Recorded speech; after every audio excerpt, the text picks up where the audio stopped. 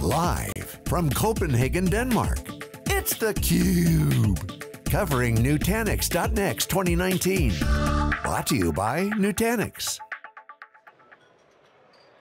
Welcome back everyone to theCUBE's live coverage of Nutanix.next. I'm your host, Rebecca Knight, alongside my co-host, Stu Miniman. We have two guests for this segment. We have Michal Iluz, she's the art director for Nutanix. Thank you so much for coming on the show. Thank you for inviting me. And we have Satish Ramachandran, global head of design at Nutanix. Yeah. Thank I you so much for coming on. You're welcome. So it's always so much fun to talk to really creative people, particularly in this technology world. I want to start the conversation by asking Michal first, yes. where you go for inspiration and who do you talk to, what do you read, what kinds of things do you look at yeah. to inspire you to, and then bring them back to your job here at Nutanix? So I strongly believe that inspiration comes from everywhere. No matter where you go, is it architecture, or you go to the supermarket and you look on packaging, or you read a book and you think about images or even just social media. And there is so much variety of, of different opinion and different cultures to get inspired from. Like even from this conference, we took inspiration from Copenhagen, the city, and from Swiss design, or from California and the vibe and the mid-century type of like, infra not infrastructure, but like architecture. Um, we created this really fun wall, the Sabrina Best Day Ever. And I was actually reading a book with my kids, um, The Diary of the Wimpy Kid. and I was like, okay, you know what? We can make something really fun out of it. We can take like a page from a diary and create Sabrina Best Day, something like that. So it's truly everywhere. It's truly everywhere. How about you, Satish? Well, it's two parts actually. I think one is the inspiration when it comes to the aesthetics of design. Um, so to a large degree, I'm a huge fan of minimalism, everything from Japanese paintings, for example, where with two or three strokes, you have a stork on the water. The Bauhaus movement, you know, clean, elegant lines, very minimal, to the point. Um, and even the Scandinavian architecture, for example, is quite minimalistic and very clean.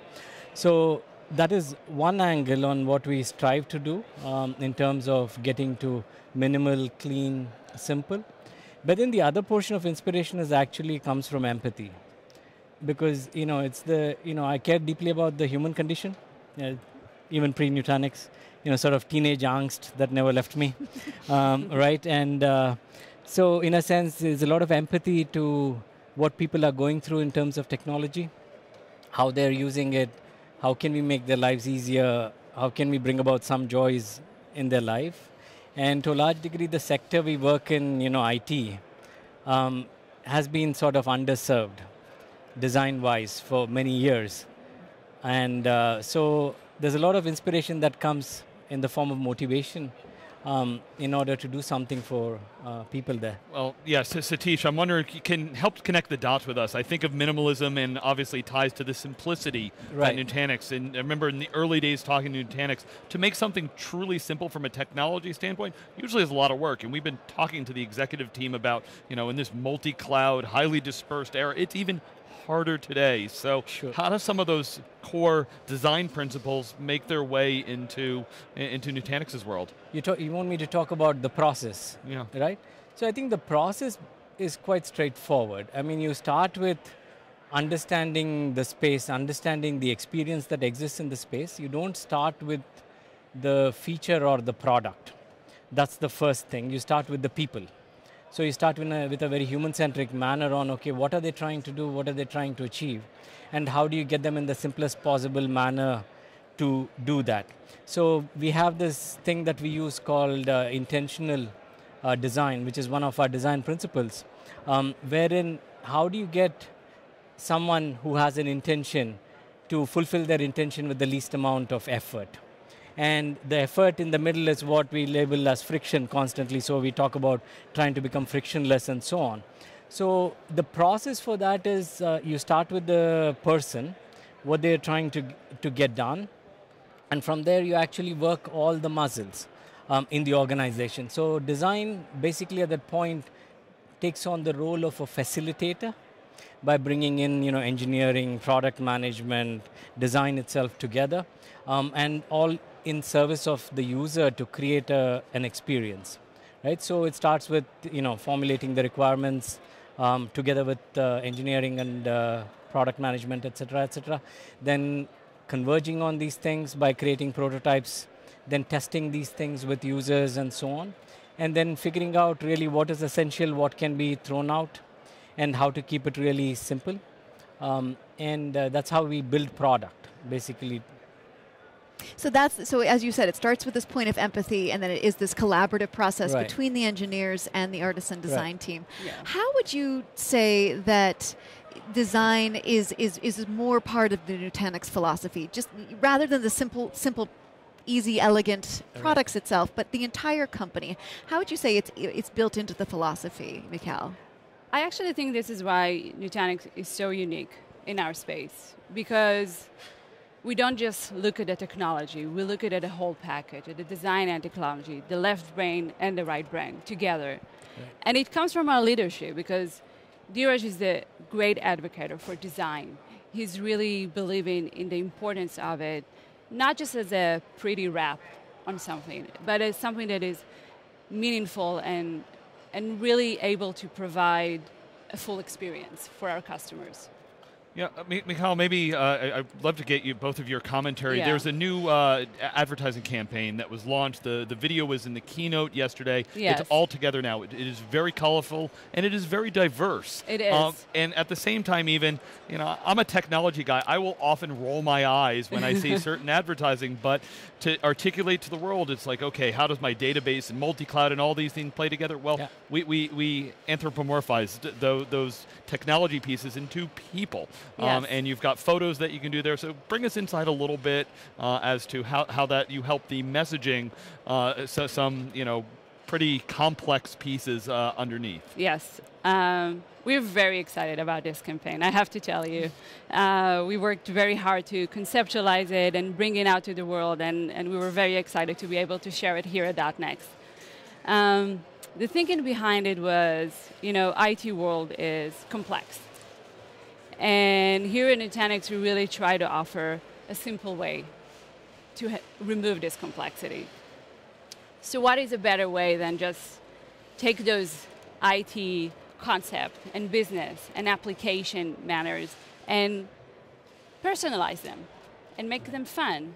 And when you think about public cloud, what do you mean? What does it mean to you? How do you envision it? When you think about a database, do you think about this strong man that carried the cylinder? And you make the campaign more, you humanize it. Yeah. You make it accessible to people and you make it fun. And this is what we're trying to do. We're trying to delight our customer. We're trying to empower them to be able to do their business in a better way. And that was our goals. Provide simplicity, choice, and delight.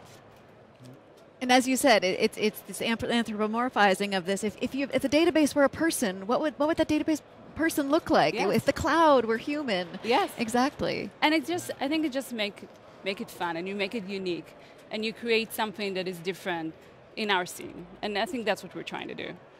How do you work together with the engineers? I mean, I know you said you gather in a room and you are thinking about the, the, the end user. How does the customer experience this? But how do artisan engineers communicate? I mean, is that is that ever a challenge or? Not really. No. Not really. Yeah. Actually, it's a it's a three-legged stool. Basically, there's a and you know if you put marketing in there as well for the awareness uh, piece, which precludes anything that we you know the customer uses, it actually becomes a four-legged stool, right? But in terms of building product, it's a three-legged stool, which is product management, and they're trying to figure out what is the product market fit, and that's what they bring to the table. The engineers come in, and as we are dreaming up stuff, they are thinking, is this stuff buildable or not?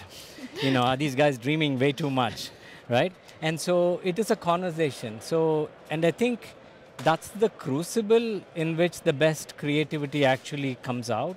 Um, it's not design in isolation where you know design dreams up something and the rest of the folks build it. It really isn't that. So we are actually, in a sense, the way I see it, we are the glue, and we form the crucible for the conversation, and and in that, you know, good things come out. Basically, yeah. So we here we are in Denmark, which is design savvy, fashion forward, uh, food obsessed, uh, Yeah. And Huga. and, hu- And and Hygge. Hygge, yes, that is cultivating that sense of well-being and comfort and coziness. What kinds of things are you going to take with you from this conference itself? What are you seeing? What's interesting to you, and how are you going to bring that back to Nutanix? I, honestly, for me, I think it's just the warmth of the people and the community in here, and they were so embracive and and and and kind. And we got a chance to work with a lot of people when we were building this conference, and and to me, it's all about the human connection. And I think this is something that I will definitely carry with me when we go back to Nutanix and we will try to think about our next .next conference and you know how we can bring some of that to there as well. Yeah. Satish, anything on uh, on .next Copenhagen, and you know you- you're, you're from Berlin, so you're you're already in Europe, and uh, you know get, get get some different uh, you know cultural inputs. I think there's still, I think there is still some stuff. I think around accessibility mainly for me. Like the hotel we are staying in, you know, first thing I noticed was, you know, there's braille um, on, you know, when you have to open the refrigerator, for example, or the closet door. And it's, I mean, that first thought was like, you know, they have already designed in the accessibility. And uh, then I relate that back to product, and I think, you know, how are we doing on accessibility? And of course, you know, everything around you here is pretty inspiring in terms of architecture and so on and so forth. So that's a gimme, really. Yeah. And you see that a lot even in Germany, so that it isn't as much uh, new. But in terms of the conference, it's very heartening uh, that we have come this far. You know, I remember. Miami many years ago, which is my first conference. Um, you know, we were like all of 600 people, and now we are 4,500 um, here. So in a sense, it's very heartening, and people seem to embrace the, you know, the vision that we are putting forth. Um, Yeah. You know, with, around convergence of many many things. How deeply technical are, are uh, both of you? Um, I understand. I understand the technology. I understand the struggle. I understand what we are trying to achieve as a company. It doesn't mean I can go and do a demo on stage, but I think it's important to understand the technology of the company that you work for in order to represent it truly and in order to convey the message that we are trying to tell. Because we are a storyteller, that's what we do. We take the message and, and the technology and, and we bring it out to our customers. So it's important. I'm a dyed in the wool engineer. yes. So I was, I mean, my case is where I was an engineer for roughly two decades, you know, architect, running engineering teams, that kind of stuff. And then I stumbled upon design. So I have a very deep understanding of engineering and what it takes to build stuff. But I have uh, another side of me which is generally around empathy, experiences, you know, human interaction, human behavior, what makes people tick, what frustrates them, those kinds of things. So for me, that way, design has been a synthesis of many of my interests, and that's why I, I fell in love with it uh, and have stuck around. So One of the biggest issues in Silicon Valley and, and in the technology industry at large is is the skills and, and the right people, the talent gap. How much of an issue is that for the design teams within these technology companies? Because you are looking for so many different Yeah. skills, people who can grasp the technology, Yeah. but then also have this more creative uh, sparkiness to them too. I mean, how hard is it to find the right people? I think it's a little bit of a challenge, but I think we are very fortunate to have amazing teams that understand technology and design and the connection between them. So uh, I know I feel very fortunate with the people I get to work with. They're very, they are amazing. Yeah. I mean, it was hard in the beginning when we, when Nutanix was 150 people or something, and a brand nobody knew. So then it was very hard to find the right people and to also simplify the vision and to sell it. I still remember spending with every new hire, I'd be the first guy they would talk to, and I'd spend two year, I mean, two hours on a whiteboard, talking, taking what is a technology problem and translating it into an experiential problem, and speaking to really this is very hard to design for and that's where the challenge lies, right? Um, but over a period of time, we have successfully built a brand, um, which is a Nutanix design brand, and we have done a ton of things that I'm actually very proud of, establishing you know relationships with universities, um, even on the social media, having a website, having a proper blog, various things. Where now we are recognized in the enterprise space as a place for uh, designers to to go and work. And there is a certain combination I've figured out where which makes for a good designer in this space. Because if you take people with too little of a technology background, then the ramp up is very high. Yeah. Um, so if you typically you find somebody who's got done some amount of technology, either in a prior company or in school, and uh, there are people like that. There are plenty of them, um, and then they're moved on to design, and that seems to be the right mix because they can they understand, they empathize, both on the technology side and also on the design side of things, yeah. and that makes for the right combination. So And it's, think- it's yeah. not too bad uh, to find people. It's And I think technology can be taught, but I think passion and caring is that is the part that is hard to find. The innate skills that Yeah. you have. Yeah. yes. Excellent. Exactly. Great. Well, Michal and Michal and Satish, thank you so much for coming on theCUBE. What a fun and enlightening uh, pa- conversation. Thank you so lovely. much. Lovely. It's great to be here. Thank you so much. Thank you, guys. I'm Rebecca Knight for Stu Miniman. Stay tuned for more of theCUBE's live coverage of Nutanix.next.